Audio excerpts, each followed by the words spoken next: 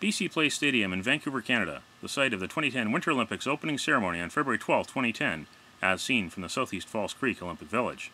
The 1983 Open Stadium is undergoing a $365 million pre and post Olympic renovation that will include the installation of a retractable roof.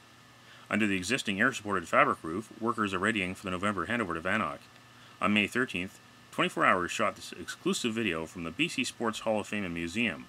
Workers were covering the site of an early May excavation in the center of the stadium's floor.